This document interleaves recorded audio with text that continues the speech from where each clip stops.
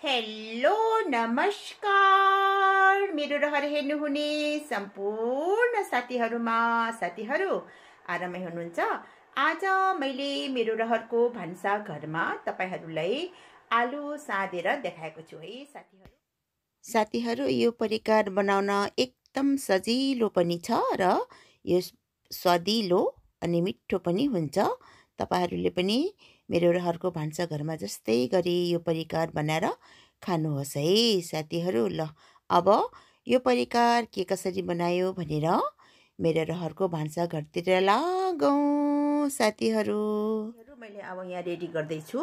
मैले यसमा एक किलो जति आलु उसिनेर राखेको छु। मैले तपाईँहरूलाई आलु उसिनेर देखाइनँ किनभने आलु उसिन त हामी सबैले जानेको छौँ होइन? अनि आलु उसिनेर अनि यसलाई चाहिँ अलिक ठुलो ठुलो पिसमा काट्नुपर्छ। है साथीहरू यसरी ठुल्ठुलो पिसमा काट्दाखेरि अलिकति खाँदाखेरि स्वादिलो जस्तो लाग्छ। अब मैले यसमा खुर्सानी हरियो खुर्सानी है साथीहरू सुकेको खुर्सानी होइन? हरियो खुर्सानी लसुन को पेस्ट मैले यहाँ राख्दैछु। यो हरियो खुर्सानी नै राख्नुपर्छ। है साथीहरू सुकेको खुर्सानी राख्दाखेरि अलिकति मिठो हुँदैन। यसमा हरियो नै राख्नुपर्छ। यो हरियो खुर्सानी र लसुनको पेस्ट त्यसपछि मसिनो गरेर काटेको मैले यो लसुन प्याज अनि धनियाँ। है साथीहरू यो यसरी यसरी राखिदिने।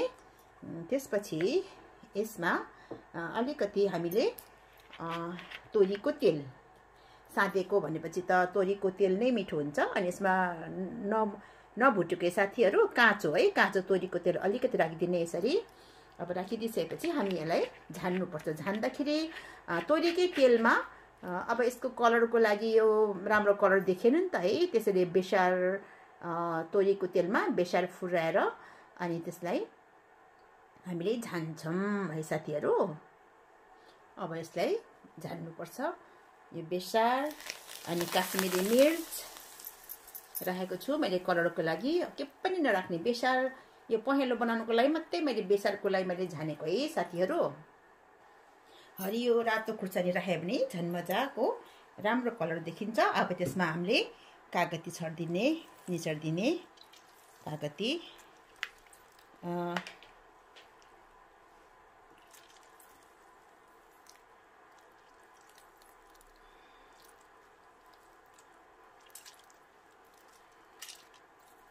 कागती मजासँग टक्क लागेको नै राम्रो हुन्छ।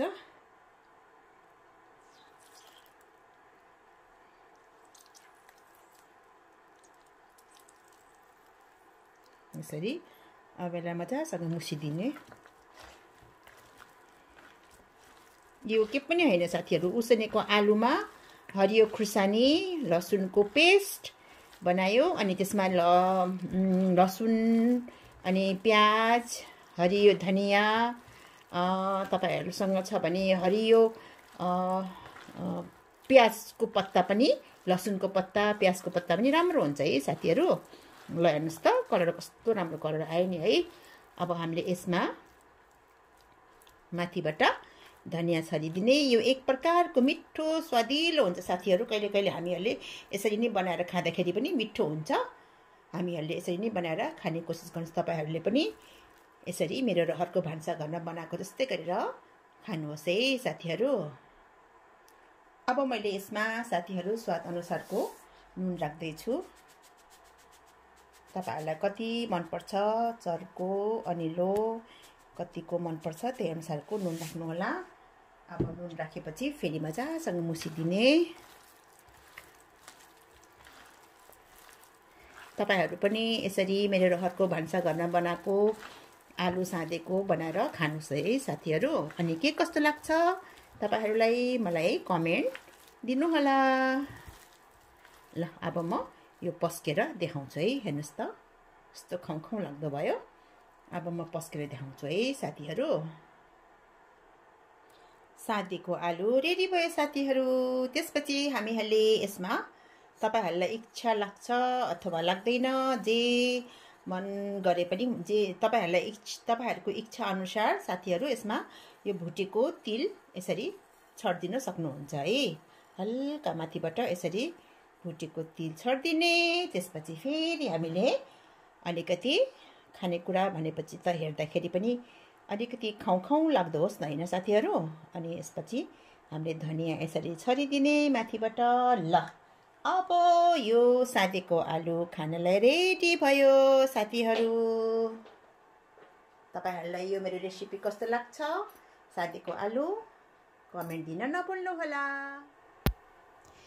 नयाँ साथीहरूले भर्खर यो भिडियो हेर्दै हुनुहुन्छ भने मेरो रहरलाई सब्सक्राइब गरिदिएर छेउमा रहेको बेल पनि बजाइदिनुहोला।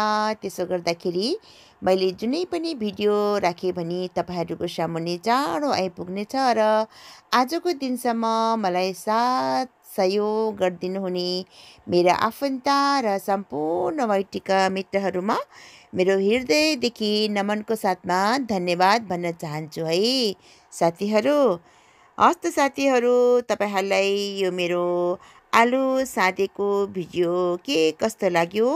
आफ्नो मन्तव्यको साथमा एक लाइक पनि दिनुहोला र सधैँ मलाई यसरी नै माया गरिदिनु हुन भनी विनम्र अनुरोध पनि गर्दछु र तपाईँहरू पनि आफ्नो परिवारसँग यस्तै मिठो आलु बनाएर खानुहोस् है। यो एकदम सजिलो र मिठो पनि हुन्छ। यति भन्दै म तपाईँहरूसँग बिदा माग्छु साथीहरू। बा बाई साथीहरू। फेरि भेटौँला बा